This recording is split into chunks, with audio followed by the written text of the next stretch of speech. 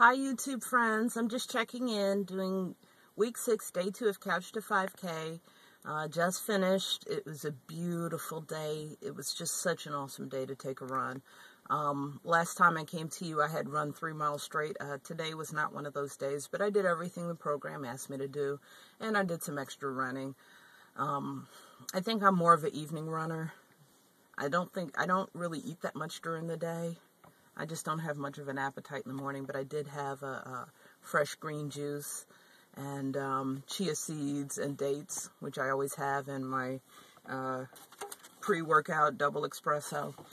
But um, honestly, I stayed out, I hung out last night and had a few cocktails and um, came home and looked through pictures and stayed up till 3.30 in the morning. So you can't expect to come out and have glowing athletic performance after that. But I'm still committed to doing this, and I guess I'm like Prince. I have two sides, and I, I think they're both friends.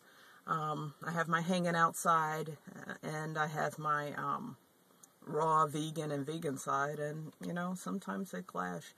But uh, I still came out today, and I'm still satisfied with how well I did, considering I did everything the program asked. So, you know, hey, I did it, and I just want to check in with you guys and let you know I'm still doing it, not giving up, not ever, ever, ever, ever, ever. So until next time, I wish you much love. God bless. Don't ever give up on yourself, ever. Bye.